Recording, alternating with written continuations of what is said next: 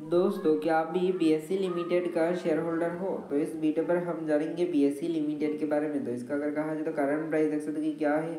ठीक है seventy three rupees का दोस्तों स्टॉक का प्राइस है अठारह सौ। ठीक है इस कंपनी का अगर कहा जाए तो रिटर्न तो देख ही सकते हो कि कितना है। तो स्टॉक ने दोस्त अच्छा खासा ही जाम की है। तो स्टॉक का जाम जो है, ख़राब नहीं है।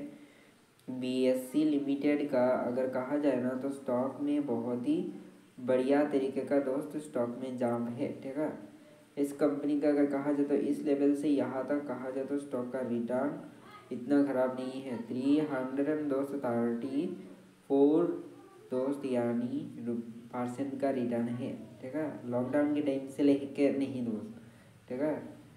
स्टॉक ने जो रिटर्न दिया है वो देख सकते हो यहाँ पर कि अप्रैल मंथ से लेके अभी तक, ठीक है? तो बीएससी लिमिटेड ने कितना पैसा बना के दिया है इन्वेस्टर को आप अंदाज़ा लगा ही सकते हो।